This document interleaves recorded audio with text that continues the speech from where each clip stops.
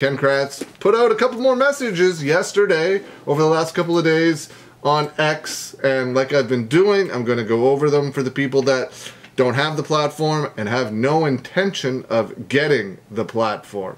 In this first message from Ken Kratz, he's replying to Case 10 here, and he responds with, It depends what you consider the other side. They're talking about convicting a murderer. It depends what you consider the other side. What do you think the purpose of convicting a murderer was? Whose story were they telling? Did they leave anything out? Sometime in April, I plan to disclose for the first time what I thought of convicting a murderer, the entire production process. It would be great to get the director Shawn Rech, the producer Brenda Schuler, and host Candace Owens for a live sit down interview. That should be easy.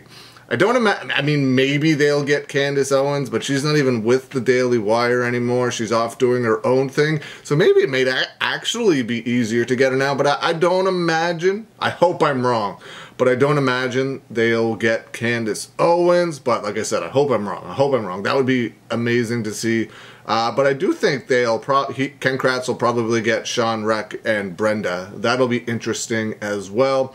Candace Owens admitted she never spoke to me during the project. In fact, I never spoke to anyone from the Daily Wire Plus, not Ben Shapiro, nobody. Don't you think that's strange they never spoke to the lead prosecutor? I don't, and I'll explain that in a second. I wonder why. If you have nothing to hide, you hide nothing. Transparency is the answer, don't you think? The reason why, in my opinion, he never spoke to Ben Shapiro or Candace Owens um, is because they weren't a part of the project from the beginning. They were inserted later. They probably had zero communication with most people involved in the project, other than this is just me guessing, but I've been a part of this process before, so I, I kind of have, I, I, know how it works a little bit, tiny bit. Um, they probably had absolutely nothing to do with most people involved in the project other than uh, the people that were making it, like Shawn Rech and Brenda and whoever else is on that team. I, I, I don't see feel there would have been any reason unless there's a segment involving Candace, Owen, Candace Owens and Ken Kratz, uh, which would have had to have happened later because this was done years before Candace Owens and Daily Wire got involved. It would have had to have brought Ken Kratz back for additional filming. Um, that's the only way they would have got Candace Owens and Ken Kratz together. Daily Wire bought the project and aired the project. They probably, like I said, had no communication with most people involved. Um, that's why I think that is that happened. Again, I could be wrong, but that's generally how that process works. Especially with a project that would have been done way before people were attached to it. So the other day, Ken Kratz talked about a Making a Murderer film that was blocked from being released by the filmmakers and Columbia University. They, they are the ones who hosted the film festival. I asked, why do people think that, uh, or why was this film blocked from being released? Uh, I didn't get any really good responses, but Ken Kratz responded with, Jessica McBride did an article on this topic very, very shortly after Making a Murderer was released. Try looking here. And I will look at that, not in this video, but I will have a look at it and see if it is interesting to see if there's any news in there. And if there is, I will make a video about it. And Ken Kratz also replied to an X message from IINNIT5244 Brenda already told several guilters about the fallout you two had. She also told TTM about the grimy details and her real thoughts about you. The details she gave were in depth and make you look even more unhinged. I wonder if she made anything up about you. I'd, Ken Kratz responded with, I'd love to see these comments. I'd also love to read her 300 page deposition transcript from Colborn versus Netflix that her attorney is blocking from public scrutiny. Hashtag nothing to hide. Falling out, oh my god, that is rich. The live sit down interview will clear up those misunderstandings. That's assuming he can get a live sit down interview with them. Then he replied to a post from TikTok Manitowoc. Again, the joke was known, not refuted. It's the fact you used Bobby to bring the joke into testimony when Mike O was the one who said it in police reports, and you had not put Mike O on the stand. He replied to TikTok Manitowoc and included me after having the night to interview Bobby during the night of February 20, uh, February 14th, Happy Valentine's Day, the defense in fact found the reports that were sent to them summarizing the joke the next day, February 15th. Uh, I noted in my trial journal that the defense attempted to explain the joke may or may not have impact on the jury. Oh, by the way, as my journal was intended to track my journey through the trial, I recount my level of exhaustion. Still think I wrote this after the fact, Jerry Buting and Attorney General.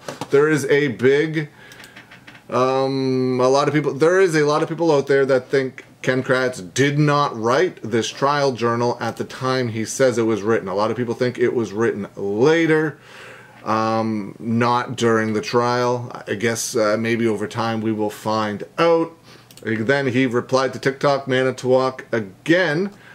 TikTok Manitowoc stated very specifically brought up November 3rd as the date of the joke when we all know that never happened, meaning your notion about the jury hearing such sick humor should never have happened. As you know, Mike O reported said no, Mike O's report said November 10th, which was impossible. Ken Kratz responded with, read Dean Strang's cross-examine of Bobby. I honestly don't recall, but what date does best ever attorney Strang says it happened? I love how that he like throws random jabs in there at people. It's quite uh, it's quite something. It's quite entertaining. Then he went back and forth with TikTok Manitowoc. Again, you purposely tried to influence the jury with prejudice at the moment, just like you tainted the jury pool for Brendan, ensuring he'd never get a fair trial. I wouldn't be surprised if the redacted part is somewhat of a confession of knowing exactly what you were doing. Wow. I'm interested in your opinion of having my of having tainted the jury pool by my comments to the media. Did anyone in the Avery jury ever ever mention my press conference or Brendan's confession? If they never mentioned it, do you still believe it impacted the jury somewhat in their deliberations? Last question. From where did Jerry Buting and Dean Strang want their jury pool? Here's a hint. I hope finding out this answer will cause you to stop discussing where the jury was going to be from. I will wait for your what about ism as your acknowledgement that you now know the truth. Whew. Things are getting deep, guys. Things are getting deep. And there's another one here from Vegas Ranger 1872. See, uh, day three, Ken Kratz, and still no answer. Seems a bit cowardly to me. Come on, answer the question. The question is, okay, Kratz uncancelled. Let's try to see who is the coward. I'm going to tweet this every day until you've answered the questions here. Let's start. And he lists a bunch of questions. Uh, let's see what Ken Kratz had to say in response. Michael Costa is your answer. In other words, it doesn't matter how many times you ask, please move on. Interesting. Interesting. Then he responded to a message from Jack's 60, from Jack's 1961.